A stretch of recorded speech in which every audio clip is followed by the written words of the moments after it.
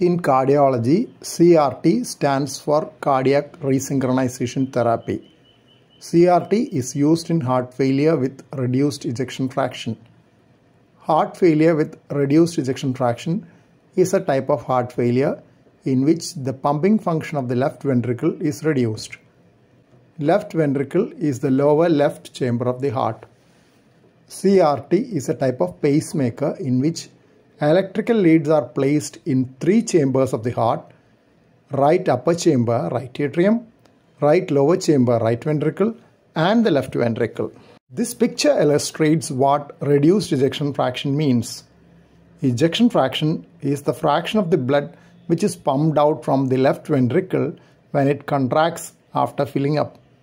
The period of relaxation is known as diastole, in which the ventricle fills, and contraction is known as systole. Normal ejection fraction is around 60 to 70 percent. When it is reduced below 40 percent, it is known as heart failure with reduced ejection fraction. In some persons with heart failure and reduced ejection fraction, contraction of different parts of the left ventricle loses its natural synchrony so that part of the contractile effort is wasted. This can be inferred from ECG, the electrical recording of the heart. ECG will show a wide QRS complex with a left bundle branch block pattern LBBB in those with dyssynchrony. QRS complex denotes the electrical activation of the lower chambers of the heart.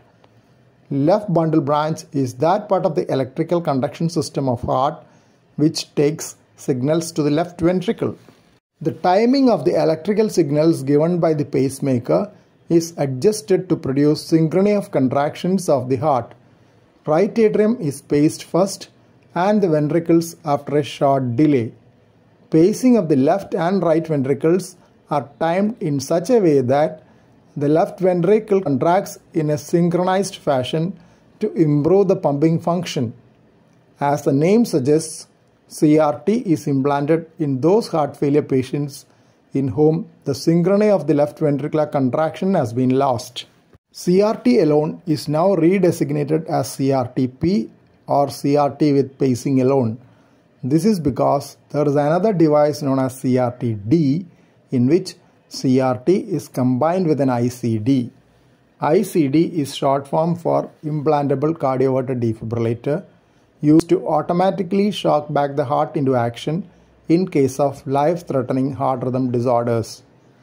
This X-ray shows an ICD with high voltage shocking coils within the heart.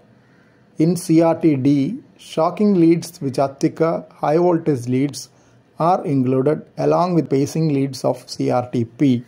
Battery capacity has to be more for CRT-D because a large amount of electrical energy is needed for the shocks.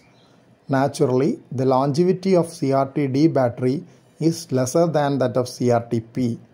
Moreover, the internal shocks given by CRT-D can be painful, though essential to save life in case of major heart rhythm disorder. CRT-D is needed in some heart failure patients who have a high risk of life-threatening heart rhythm disorders. Thank you for watching this video.